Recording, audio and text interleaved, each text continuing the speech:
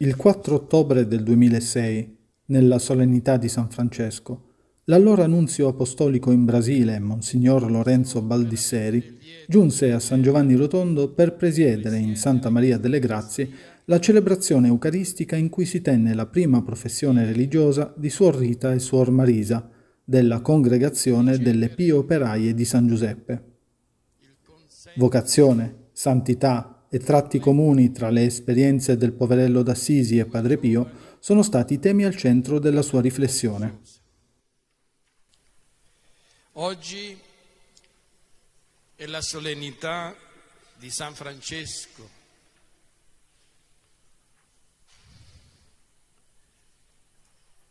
che nacque nel 1182 e morì nel 1226 a soli 34 anni.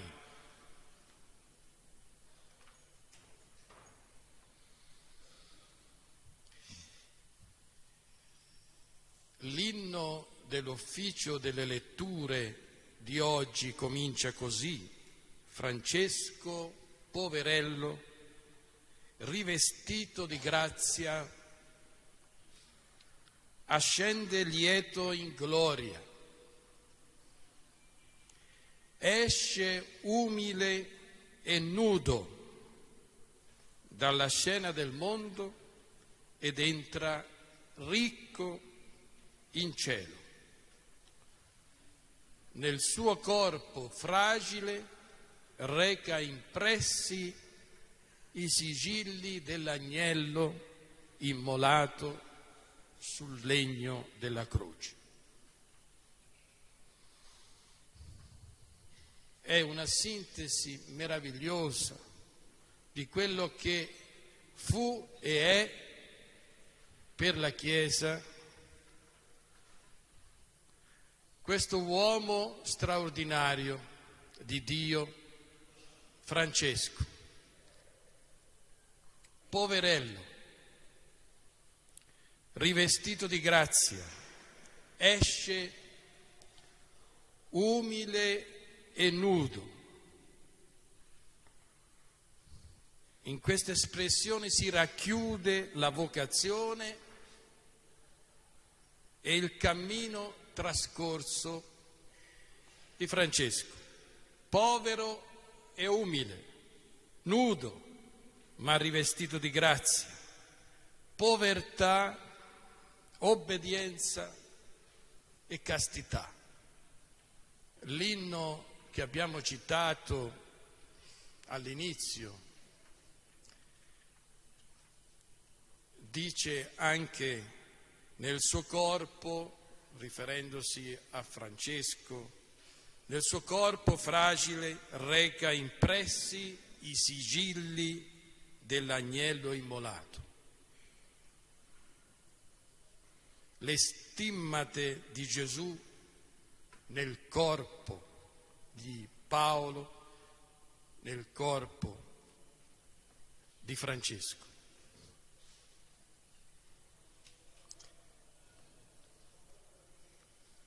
Francesco, dodici secoli dopo, di questa prima conf- configurazione in San Paolo, che noi conosciamo attraverso i suoi scritti, si configura tanto a Cristo, divenendo immagine viva, e riceve anche lui le stimmate sul suo corpo. La croce non è un segno di abominio a partire di, da Cristo, ma è uno strumento di gloria. È un vanto, dice San Paolo, per il cristiano che si configura con Cristo in tutto. La vita religiosa è configurarsi a Cristo in tutto. Nelle gioie e nelle sofferenze. E le gioie sono tali perché? Perché noi capiamo il valore della vita con l'esperienza della sofferenza. A distanza di tanti secoli noi abbiamo un'altra grande esperienza di un santo che si è configurato con Cristo e questa configurazione è anche apparsa visibilmente nelle stimmate.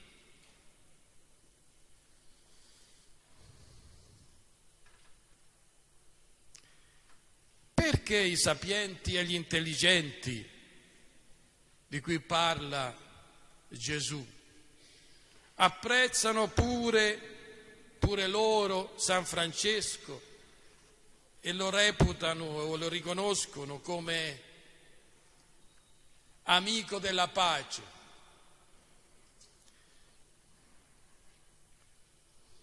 come protettore dell'ecologia.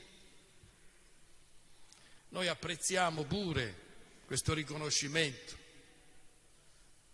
Ovviamente desidereremmo assai di più che entrassero, entrassero veramente dentro la vita, il cuore di Francesco, il cuore di San Pio, il cuore di tutti i santi che si sono configurati con Cristo. La pace è fondamentale. Tutti vogliono la pace, ma differente è il cammino per raggiungerla e i nostri santi ce lo indicano, con la propria vita, non con le parole, con le chiacchiere, ma con la vita. E allora, care eh, Marisa e Rita, che state per compiere questo grande passo nella vita religiosa, guardate a questi grandi santi, perché loro vi indicano Gesù, Gesù persona, come è.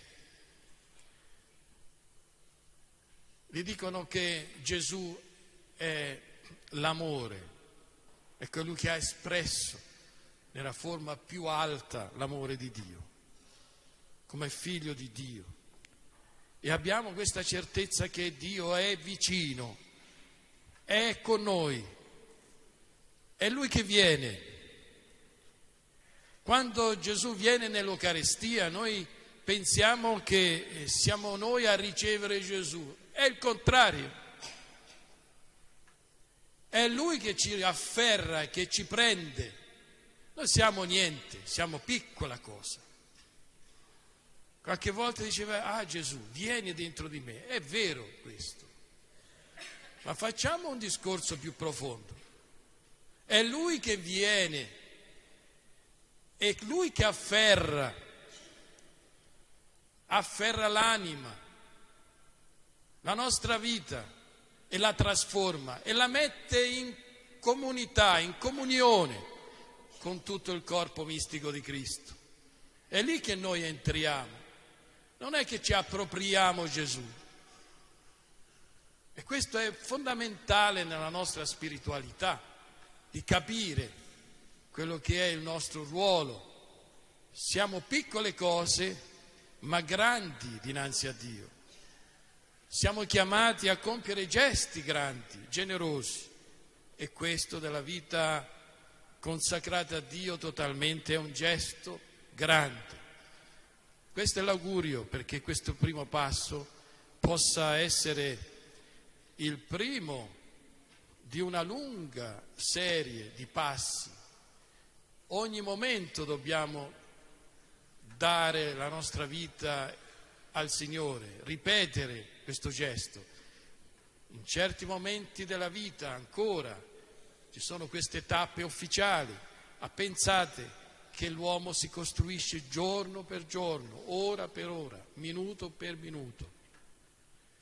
E questa adesione al Padre attraverso il Figlio noi l'abbiamo attraverso la Chiesa che ci propone con i suoi santi misteri, sacramenti, la grazia sufficiente, abbondante per poter essere fedeli agli impegni presi.